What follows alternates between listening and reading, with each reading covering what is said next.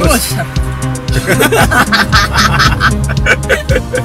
注意看，前面车辆连续变道，直接把咱们车主逼停了，这到底是什么情况啊？刚才下高架的时候，他就有加塞别车的动作，然而车主并没有给他机会，怒火中烧的大佬一路狂飙，就要给视频车好好上一课。你们看，这就是典型的路怒症。一脸懵逼的宝骏车主也是吓得不轻，赶紧加速离去。于是他一把方向过来，直接把车主逼停。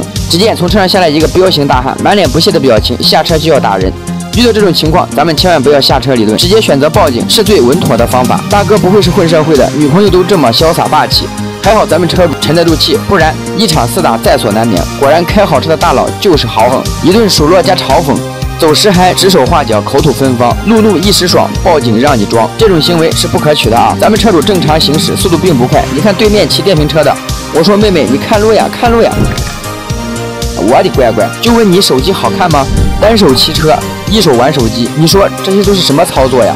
这次让你长长记性，希望你下次还能这么好运。仔细看前方这辆白车准备左转，我的天，你这操作属实让我钦佩。硬着头皮走吧，这么多人看着呢，我估计这哥们儿会到前面没人的地方停下来，然后拿起手电蹲地检查，心疼半个小时。你真是个人才呀！